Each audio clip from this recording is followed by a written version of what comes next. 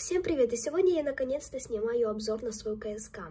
Не обращайте внимания на мой голос, я немного переболела, но я не буду затягивать, поскакали.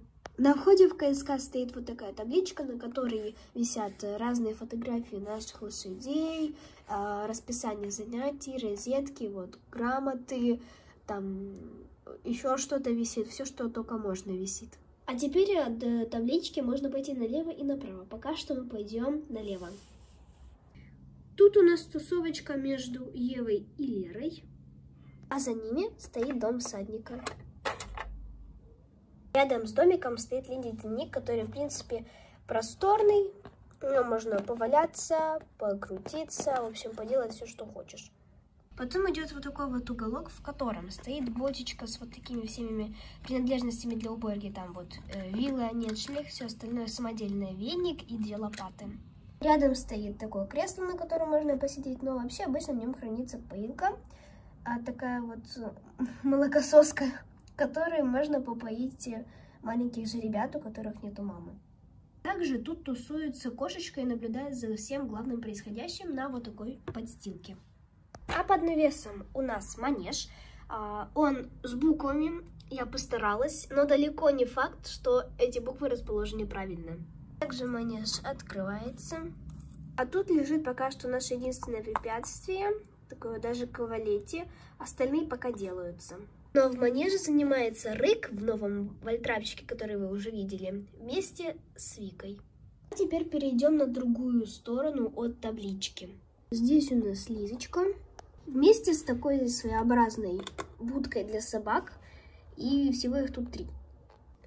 Мия, Зума и Рекс. Вот тут, тут у нас мойка, просто мойка, с ведерышком. А рядом с мойкой одинокая Диана.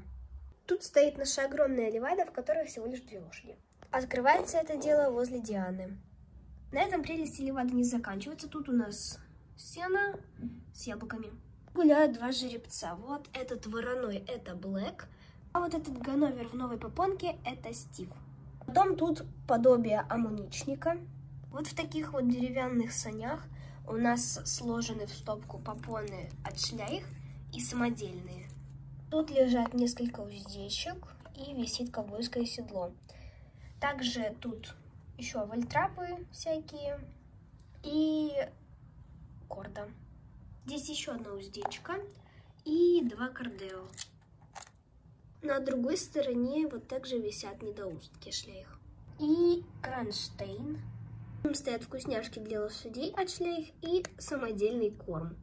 Огромный кронштейн для всех остальных сёдел. Возле ковбойки Маши у нас висит еще одно шлейх попона. С другой стороны конюшни у нас стоят э, два чемоданчика с щетками и один с разными медицинскими препаратами. За ними лежал вот такой вот стетоскоп. В конюшне у нас пока что только кобылки. Думаю, сильно рассказывать про шлейф конюшни, которые так все знают, я не буду. Просто скажу, здесь в первом дневнике у нас стоит поэма, рядом с ней стоит сакура, напротив сакуры стоит черри, а также рядом с черри стоит агата. У каждой лошади в дневнике есть еда и поилка. Также, чтобы не потерять, я повесила вот эти вот кронштейны. Ну и в самом конце конюшни у нас стоит а, Настя. Только вот проблема, нам продали ее как шлейх, но оказалось она не шлейх, а от фирмы Папа. Ну а где же все остальные шлейх? А вот они. Первая полочка и вторая. Ну что ж, на этом было все. Всем огромное спасибо за просмотр, всех вас люблю и всем пока.